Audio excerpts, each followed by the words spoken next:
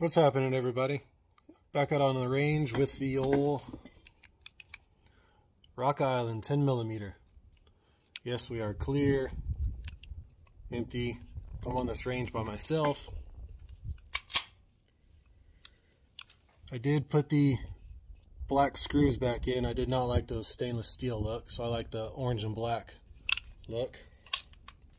Anyway, it's kind of a follow-up with the other video I did with this pistol, all the different problems I had, um, the feeding problems, the jamming problems. It was like a jam-o-matic. Anyway, I've now put about a hundred rounds through it today, and I have lubed the well, I have lubed the rails pretty good. Um, I say pretty good. I've freaking drowned them. Anyway, so I shot some PPU, uh, FMJs, 180 grain.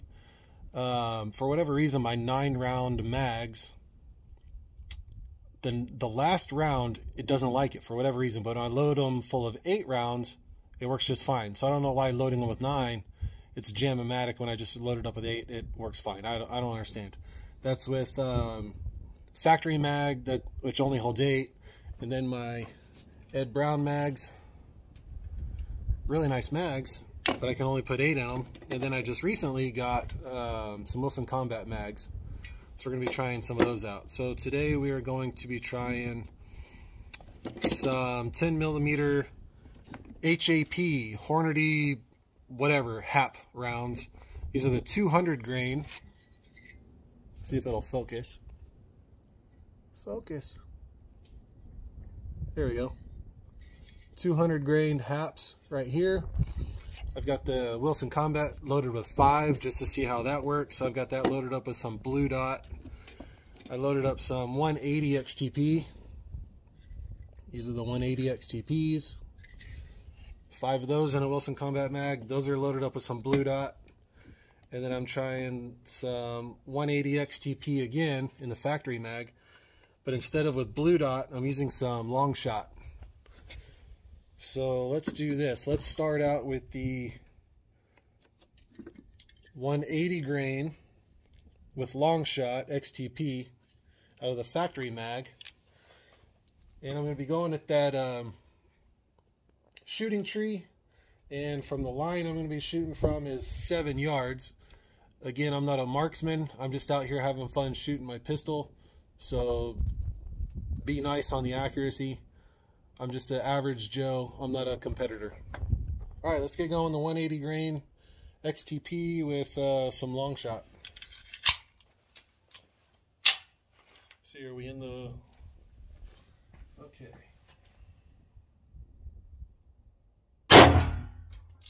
Split them both around. Oh!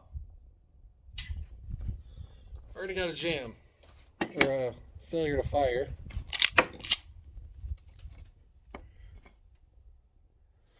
I had a primer strike.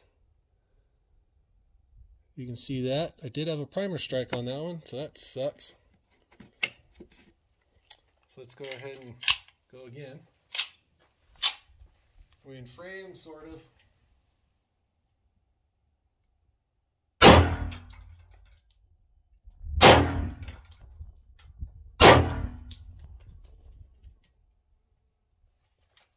And I can't count. We're already out of those. Empty. Okay, so that 180 XTP, a good primer strike. You know what I want to do? I want to load that thing up again. Let's give it a try.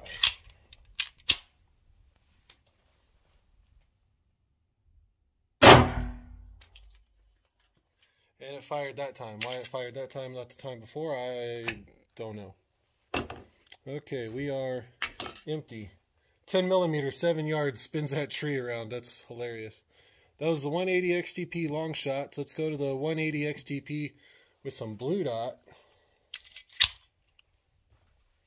Oh, that's a 7 yard line. Back here, I'm at, I guess, 10 yards. Let's just shoot at 10 yards. And miss some more.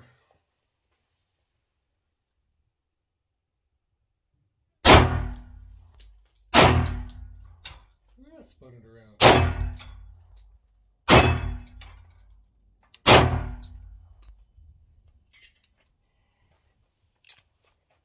That felt nicer shooting. Felt more powerful, but it felt smoother.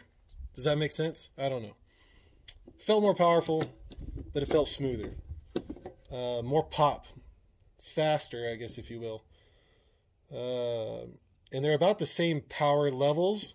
The um, the amount of powder that I used, I did them at about the same power level in terms of velocity. So blue dot felt better than long shot. Okay, so now we're going to go to the 200 grain blue dot. And these are the 200 grain HAP, HAPs loaded with blue dot. I'll stay back here at 10 yards and just miss some more.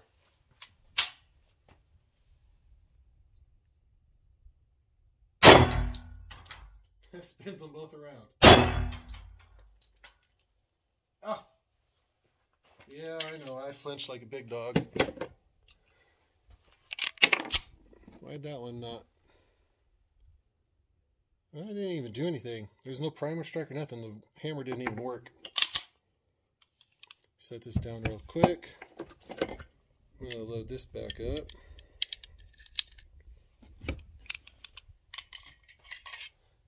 We got three, because I didn't count.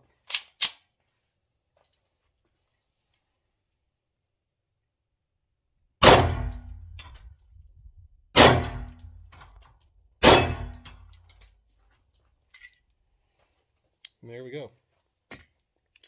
We are empty, unloaded. There's no magazine in there. Okay, so what did I... Now let's just keep it over here. What did I think of the Rock Island? This is now my third time out with it. I'm going to turn it this way. See if you can even see how wet. Get it in the sunlight. You can see how wet it is extremely wet. It's very, very lubed. My thought is the feed ramp is too straight up and down. I wish the feed ramp had more slope on it. So I might have to get some work on that. Next is it's still still problematic. I'm still having problems with this thing. It's not it's not flawless by any means whatsoever uh, with different ammunition. It just it isn't. I don't know what the deal is. My new Wilson Combat mags. Love to have them along with my Ed Brown mags.